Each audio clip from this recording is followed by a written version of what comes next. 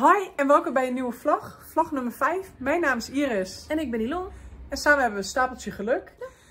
Wat we aangaven, dit is dus de vijfde vlog. Wij nemen jullie eh, als eerste mee nog een keer weer naar jouw verjaardag. Ik had nog heel My veel party. materiaal wat ik niet had gestuurd of wat ik niet had geëdit in de vlog. Omdat ehm, ik wou niet dat Ilon het al voor die tijd zag. We hebben een appgroep met YouTube en daar sturen we de filmpjes in en dan edit ik het. Zelfs Maar de die- camera was geblokkeerd. Ja, zelfs de camera we andersom gedraaid.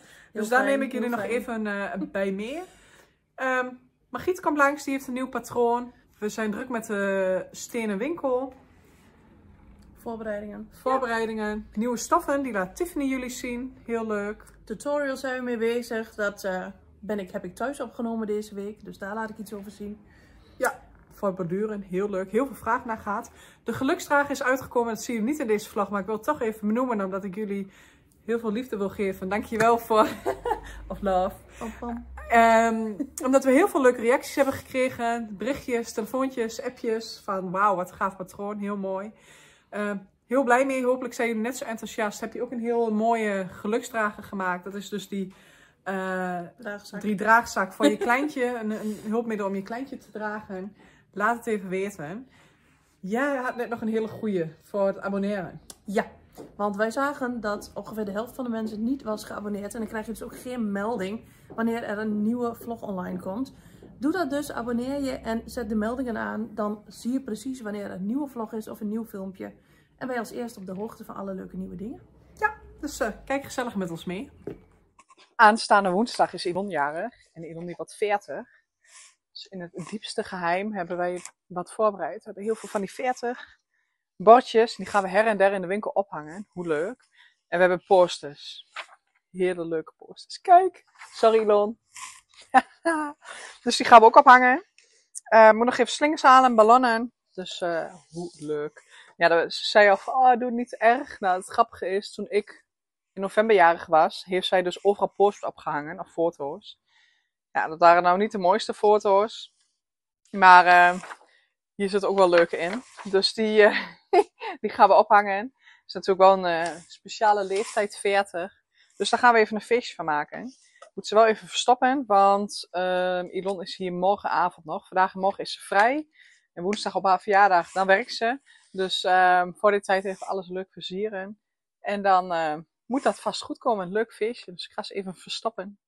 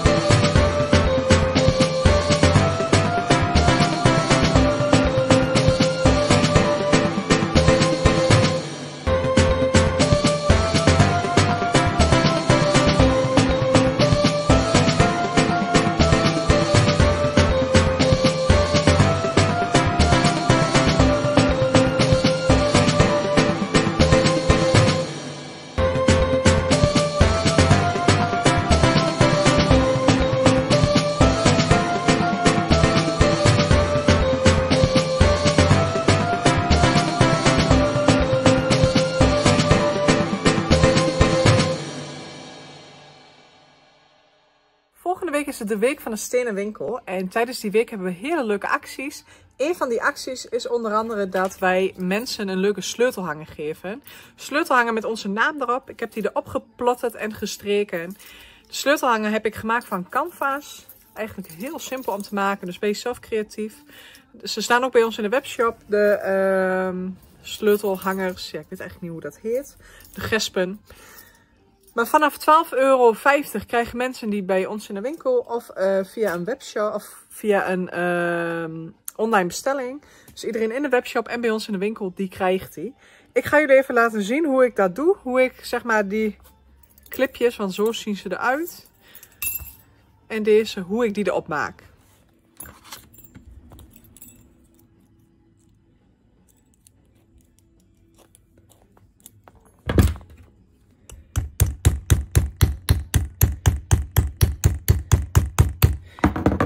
Ik doe ze eerst heel ietsjes kleiner, want ik vind ze vrij groot, zoals je kunt zien. En anders ben ik heel lang aan het slaan en dan is de stof alweer omgedraaid. De driehoekjes die doe ik aan de achterkant. We willen namelijk dat het mooiste gedeelte stapeltje geluk is. Zo, dat hij recht is. Ik heb even het ringetje eraf gehaald. Ik vind het toch best wel vervelend slaan, was ik achtergekomen. De stof zit dubbel, voel ik. Het is toch wel een beetje gepriegel. Hop. Kijk, dan zit hij hier dubbel. Dat wordt over die manier. Moet natuurlijk ook nog weer recht. Zo.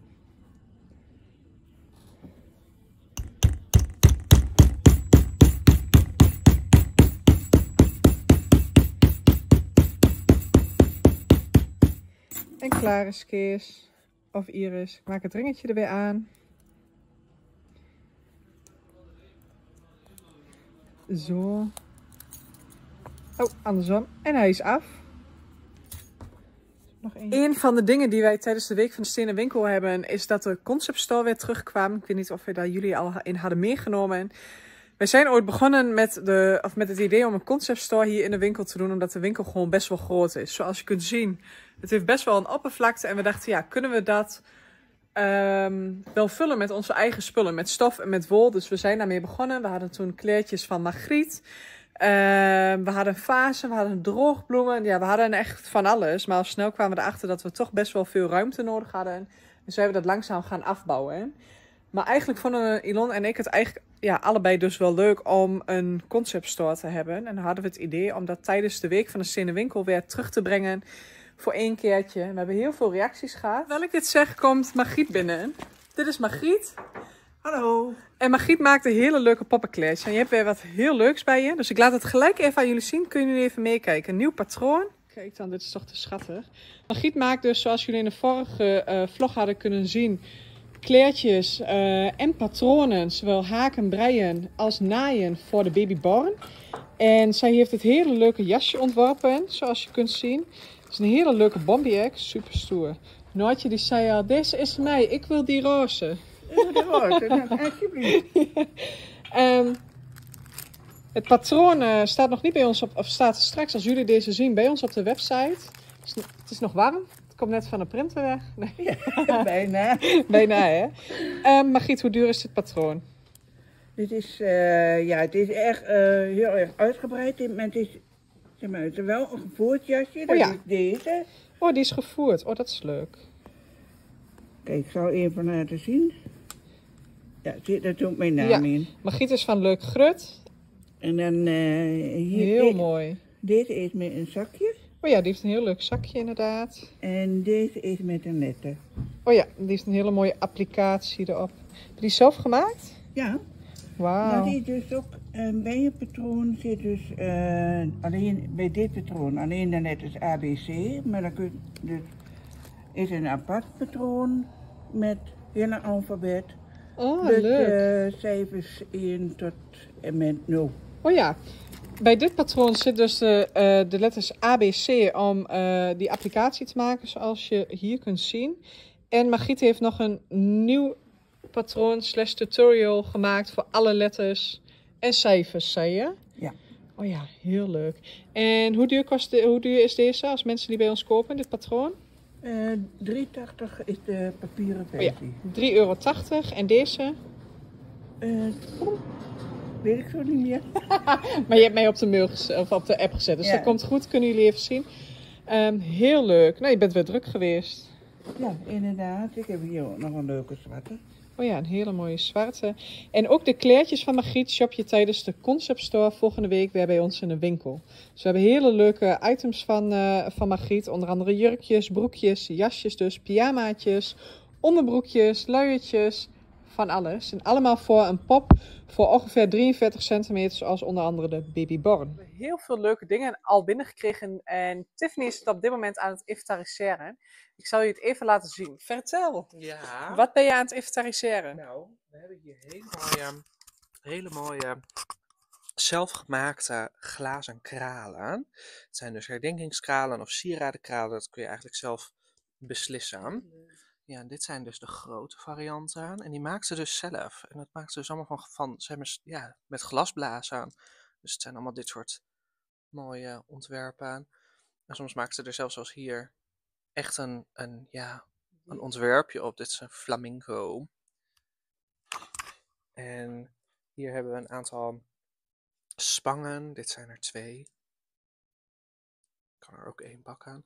Een spang met zeg maar zo'n leuke kraal eraan. Dus eigenlijk gewoon, ja, kun je er een ketting van maken. Wat ik ook heel leuk vond, kijk die bloemetjes. Ik had ze al even meegenomen voor moederdag. Heel leuk. Die zijn dus ook gemaakt van eh, glas. Die blazen dus. En ehm, ze zijn 3,50 euro per stuk en 5 voor 15, zeg ik het even goed. Maar kijk hoe schattig. Heel leuk. Dus die had ik al even uh, meegenomen voor moederdag. En hier nog meer kralen en heel veel spangen. Deze allemaal middelgroot. Is toch gaaf? Kleine. Ik zei laatst al, mensen die creatief zijn, die hebben vaak meerdere hobby's. Maar als ik dit zie, dan denk ik, ik wil dit ook. Ja, zo leuk. Snap ik wel, snap ik wel. Dat zijn wel leuke projecten. Ja, maar ja, dit is wel echt een vak apart natuurlijk. Dit doe je niet zomaar. Annemiek, uh, die dit maakt van Glashart, die zei al dat ze echt wel een jaar al, uh, al bezig is om, ja, en dan maak je dus zulke prachtige dingen. Heel gaaf. Uh, Margriet, die heeft ook haar uh, kleertjes. Lieten we net al heel even zien. Um, even kijken, wat hadden we nog meer? Wat heb je nog meer geïnventariseerd vandaag? Ik heb de glaskralen. Oh, ik zal het erbij pakken. Ik heb de glaskralen. Ik heb een aantal wandkleden, uh, sets, allemaal gebreide dingetjes. Uh, goh, wat hebben we allemaal nog meer? Ja, uh, kaarten. Ja, kaarten, zelfgemaakte dekens, kaarten. Ja, hele mooie dekens en omslagdoeken, sjaals en zo. Zijn echt wel heel erg mooi. Ik ben wel, ben wel heel erg onder de indruk. Echt gewoon allemaal ja, sleutelhangers, gehaakte dingetjes. Allemaal hebben dingetjes eigenlijk. Die mensen gewoon hebben gehobbied. Maar zijn echt hele leuke dingen. Zwaving is met een hele leuke bus. Die komen altijd langs en dan mag je, ja, het is net een soort uh, snoepjesbus. Um, aan drie kanten heeft hij heel mooi stof en dan kun je dus heel leuk uitzoeken van, ja, zit er wat bij voor jou? Dan kun je het eigenlijk gelijk meenemen. Beetje zoals de oude vroege SRV-wagen. Er zit echt van alles zit ertussen, dus katoen, ook katoen. Aan de andere kant heeft hij ook nog tricot, dus heel leuk. Het is altijd wel een beetje gevaarlijk, want je ziet natuurlijk hele leuke dingen. Kijk, hier is de kurk waar ik jullie laatst over vertelde. Deze hebben we dus al en die ook. Er zijn nog veel meer. Superleuk.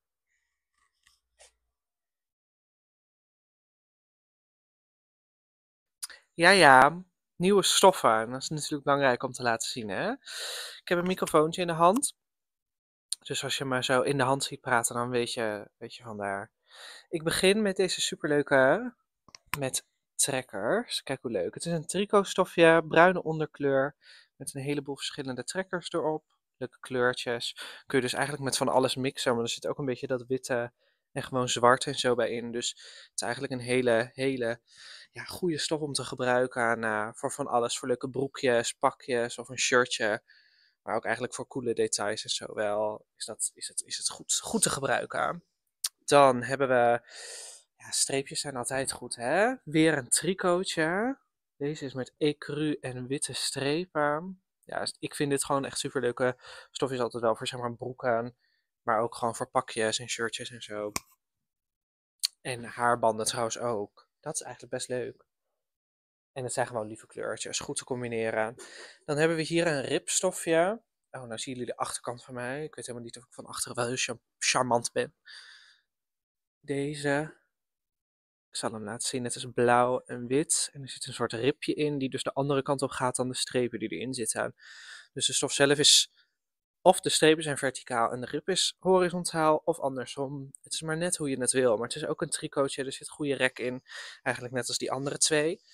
En ook uh, diezelfde blauwe hebben we dan dus hier met een soort bruin ecru en wit tintje. Dus dat is eigenlijk dezelfde stof, maar dan in plaats van de blauwe heb je er zo'n ecru tintje in zitten. Die is net wat ja, makkelijker te combineren, denk ik altijd. Maar ja, doe, je kunt nooit misgaan met blauw. Want kijk hoe leuk dit eigenlijk is. Ook al is dat niet dezelfde blauw. Zo'n blauw als dit en dan een broekje hiervan is natuurlijk helemaal super. En als laatste, voor de bloemetjesliefhebbers, lekker de sun. Je ziet Iris daar ook achterin, die is heel hard aan het werk. As usual. Deze leuke rozen, allerlei gekleurde bloemetjes, leuke blaadjes met een witte ondergrond. Ook een tricotje. Dus het is een tricotfestijn deze week. Um, en dat blijkt maar weer. Een stukje vlog vanuit mijn tuin, niet uit de winkel. Het is vakantie. Dat betekent uh, dat ik niet elke dag in de winkel ben, maar ook um, op mijn eigen dagen ben ik gewoon thuis. Zodat ik lekker mijn wasje kan draaien en die buiten kan hangen. Altijd fijn om je eigen gemaakte spullen aan de lijn te hebben. Maakt het altijd iets minder erg om de was te doen en om te strijken bijvoorbeeld. Um, ondertussen ben ik wel een beetje aan het werk als dat altijd allemaal, hè, als het gaat. Wat ben ik precies aan het doen? Ik laat het jullie even zien. Wat ben ik aan het doen? Ik ben um, deze bloemen aan het borduren. En die ga ik zo meteen filmen. De verschillende technieken ga ik filmen. Hoe je deze zelf thuis ook kunt maken. Dit wordt een aparte tutorial om uh, te bekijken. Daarnaast ben ik bezig met een leuk haakproject waar jullie meer over horen. En ik wou jullie even laten zien. Want je denkt misschien, goh, kinderen hebben vakantie. Dan ga je er toch op uit. Ja, dat kan. Maar we kunnen ook thuis lekker gezellig samen knutselen. Um, en dat is precies wat wij hebben gedaan. Mijn dochter heeft leuke ringetjes gemaakt. Ze noemt het zelf kikkerringetjes van de kralen. Kralen verkopen we natuurlijk ook bij ons. En deze leuke armband met love erop heeft ze.